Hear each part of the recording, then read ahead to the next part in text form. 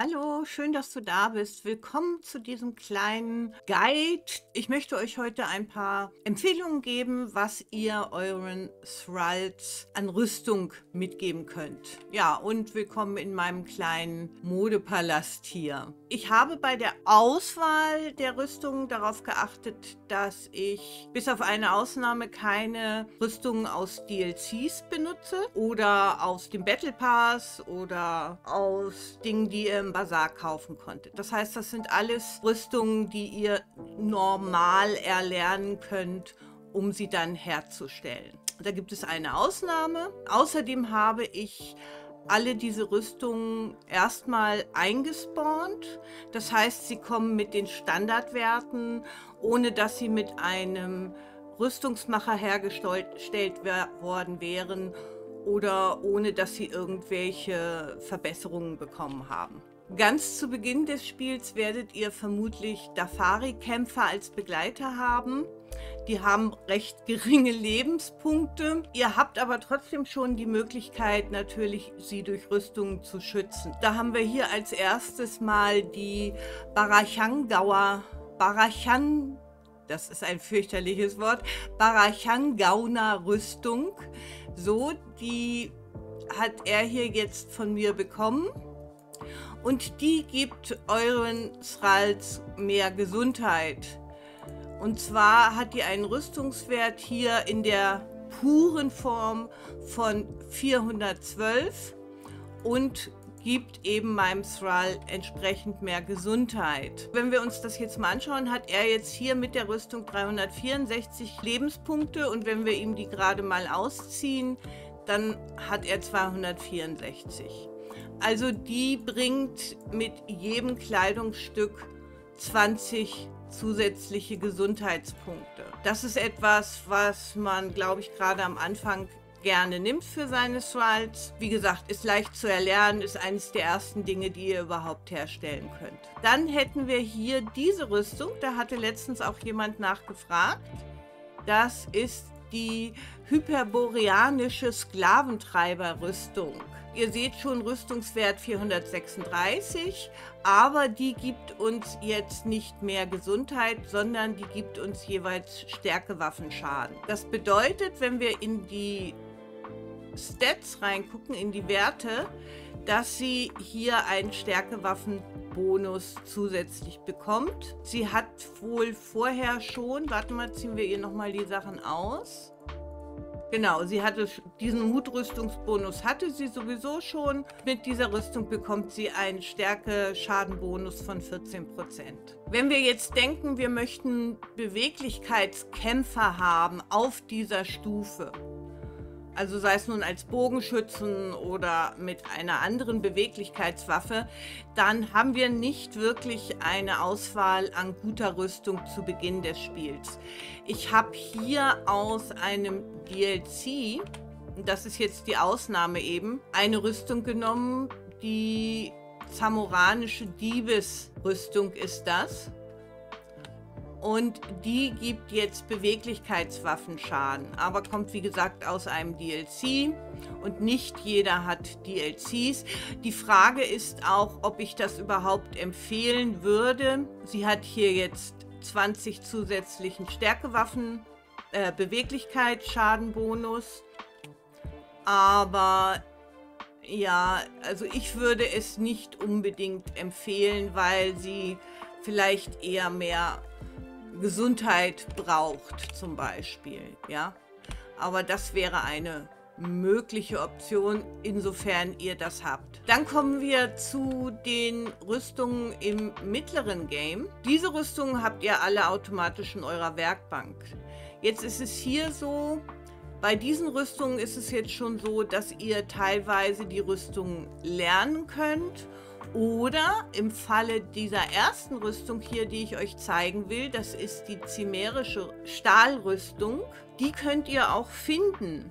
Und zwar, wenn ihr so eure ersten Ausflüge hier in den Norden macht, dann habt ihr hier diesen Bereich hier, den Hügel der Toten, hier drumherum. In diesen Camps Wenn ihr dort euch hinbegebt, dann könnt ihr sehr viele Teile für diese Rüstungen hier finden bei den NPCs, die ihr dort bekämpft. Und hier haben wir jetzt eine Rüstung, die chimärische Stahlrüstung. Die gibt Gesundheitsbonus eine ganze Menge. Und ihr seht schon, die hat auch natürlich einen höheren Rüstungswert und gibt mir einen zusätzlichen Gesundheitsbonus. Ich ziehe das mal aus. So haben wir jetzt hier einen Wert von 1789 und wenn wir das anziehen, dann haben wir einen Wert von 1889. Also wir gewinnen 100 Punkte Gesundheit durch diese Rüstung. Wie gesagt, sie hat den Vorteil, ihr könnt sie euch zusammensammeln und die Rüstungen, die ihr bei den NPCs findet, die sind meistens eh nicht mehr sehr lange haltbar. Insofern macht es Sinn, die gleich euren Thralls zu geben. Dann haben wir hier eine Rüstung, die ihr meines Erachtens relativ bald im Spiel schon lernen könnt. Das ist die leeren geschmiedete Drachenrüstung. Gut, ihr braucht dafür Drachenknochen. Das heißt, ihr müsst natürlich gegen Drachen kämpfen. Diese, auch diese Rüstung gibt uns Gesundheitsbonus, aber eben auch Stärkewaffenschaden, Ausdauer und wieder Gesundheit. Der Punkt ist, mit Ausdauer können eure Thralls nichts anfangen. Also das wäre etwas, was für euch selber interessant ist, aber nicht für den Thrall. Das bedeutet, wir könnten auch dieses Teil hier austauschen gegen äh, zum Beispiel äh, sein Teil hier, ja. Ähm, sein seine Hose, wollte ich sagen. Sieht dann natürlich nicht mehr ganz so schick aus, aber du kannst dieses Aussehen korrigieren. Wo habe ich sie jetzt?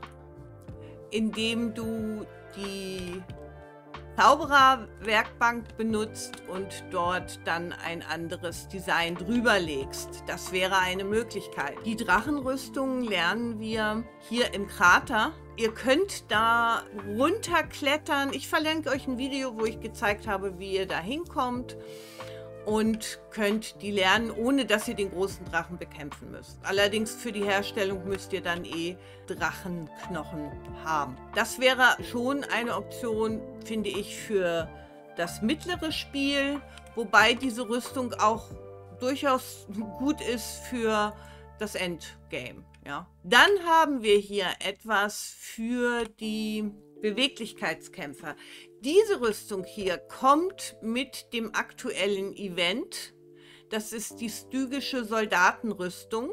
Und die gibt euch Beweglichkeitswaffenschaden. Die habe ich hier mit reingenommen, weil sie meines Erachtens momentan die beste Rüstung ist, die ihr außerhalb von irgendwelchen DLCs oder Käufen bekommen könnt, äh, indem ihr eben die Purge spielt und dann bekommt ihr diese Rüstung. Und auch hier wieder nochmal der Hinweis, das ist nackt. Das heißt, das ist von mir reingespawnt. Das ist nicht mit einem Rüstungsmacher gemacht. Sie hat einen Rüstungswert von 1120 und sie gibt uns eben den Beweglichkeitsbonus hier. Ich habe hier einen Reliquienleger Schatzsucher genommen. Der kommt schon mit einem Beweglichkeitsschadenbonus. Wir ziehen ihm die Sachen hier mal aus oder ihr und gucken nochmal. Also die kommt schon mit 16% Beweglichkeitsschadenbonus und wenn ich ihr diese stygische Soldatenrüstung anziehe, dann hat sie hier einen Wert von 31. Das heißt, das wäre durchaus eine gute Wahl für einen Beweglichkeitskämpfer, einen Reliquienjäger, Schatzsucher und dann diese Rüstung idealerweise mit einem T4 Rüstungsmacher hergestellt das bringt dann richtig viel und dann nochmal verstärkt auch. Hier noch ein anderes Beispiel einfach, um zu zeigen, dass es nicht nur diese eine Option der Rüstung gibt. Hier haben wir die lemurianische Kriegerrüstung. Die könnt ihr auch ganz einfach lernen, indem ihr die Witch Queen einmal besiegt. Und das ist super einfach. Die Witch Queen findet ihr hier im Palast der Hexenkönigin. Also die Hexenkönigin findet ihr in ihrem Palast. Der Kampf ist sehr einfach. Auch hierzu verlinke ich euch ein Video, wo ihr euch das mal angucken könnt, wie das funktioniert. Und da könnt ihr diese Rüstung hier lernen. Und die habe ich jetzt einmal hier in der Standardversion ihm angezogen. Und die gibt halt Stärkewaffenschaden auch. Jetzt ziehen wir ihm das mal aus und ziehen ihm diese hier an. Die ist zwar jetzt vom Rüstungswert nicht so wahnsinnig hoch, obwohl sie schon mit einem T4-Rüstungsmacher gemacht ist und ist auch verstärkt worden bereits von mir. Aber sie gibt mehr Schaden dadurch. Das ist jetzt nur ein Beispiel dafür, was sich verändern kann, wenn wir ein T4 Rüstungsmacher benutzen und dann noch Verstärkungen da drauf packen. Ja, jetzt haben wir hier einen Stärkeschadenbonus von 39. Könnte am Anfang eine Option sein, weil der Palast der Hexenkönigin ist so einfach zu machen, dass ihr relativ schnell an diese Rüstungen kommen könnt. So, dann kommen wir zum Endgame. Nein, ich habe hier nicht zweimal die gleiche Rüstung angezogen. Wir haben hier dreimal Dalintia vor uns stehen. Und die erste Dalintia trägt die Rüstung der lautlosen Legion. Auch wieder eingespawnt ohne irgendwelche Extras und hat einen Rüstungswert von 1100. Diese Rüstung gibt uns Stärkewaffenschaden, Stärkewaffenschaden, nochmal Stärkewaffenschaden, nee, halt Gesundheit, Ausdauer und Traglast. Nun, was wir für die Thralls wollen, ist Stärkewaffenschaden und Gesundheit, was wir eigentlich nicht wollen, also damit, das wirkt halt bei denen nicht, das ist Ausdauer und Traglast. Das heißt, da haben wir jetzt eine Rüstung, die schon mal sehr gut ist. Eine der besseren Rüstungen oder ich würde schon sagen, eine der besten Rüstungen hier im Spiel. Aber sie bringt einige Punkte mit, die nicht optimal sind. Daneben haben wir die Rüstung der erlösten Legion gleicher Wert hier oben der Rüstungswert und die bringt eben auch wieder hier unten Ausdauer und Traglast mit und Stärkewaffenschaden und nochmal Stärkewaffenschaden und Gesundheit. Die doppelte Menge jeweils. Ja, die doppelte Menge. Beide dieser Rüstungen lernt ihr in der schwarzen Feste, wenn ihr dort den Bosskampf macht was heißt, ihr könnt den Bosskampf auch irgendwie auslassen, wenn das geht und wieder wegrennen. Auf jeden Fall, dort könnt ihr das lernen. Das verlinke ich euch auch, das Video dazu. Das ist auf jeden Fall auch eine sehr gute Rüstung für euch selber. Ob ihr jetzt diese oder jene wählt, beide sind sehr gut. Und wenn ihr sie mit einem T4 Shield Ride Rüstungsmacher macht, dann bekommt ihr eine richtig klasse Rüstung auch für euch selber. Dann haben wir hier die Götter Gottesbrecher, nicht Götterbrecher, Gottesbrecher-Rüstung. Die ist natürlich auch sehr gut. Die gibt uns Ausdauer, gibt uns mehr Rüstung, gibt uns Stärkewaffenschaden, Beweglichkeitswaffenschaden und Traglast. Also da sind jetzt einige Sachen dabei, die wir für unsere Thralls nicht haben möchten. Aber man kann zum Beispiel gerade hier auch diese ähm, Handschuhe sehr gut nehmen und kann sie dann entsprechend austauschen. Das wird häufig gemacht. Und wir haben hier bei Dalincia schon mal die Gamaschen des Champions mit drin, die aus dem gleichen Dungeon kommen wie die Götter Gottesbrecher-Rüstung. Das wäre eine Option. Und wir könnten jetzt zum Beispiel auch sagen, wir tauschen die Handschuhe gegen die Handschuhe aus der Gottesbrecherrüstung aus. Und dies hier sind die Gamaschen des Champions, eine sicherlich der besten Rüstungen auch, die ihr bekommen könnt. Und diese Dinge kann man austauschen für den Thrall, weil was uns eben nicht interessiert, ist die Ausdauer und was uns auch nicht interessiert, ist die Traglast.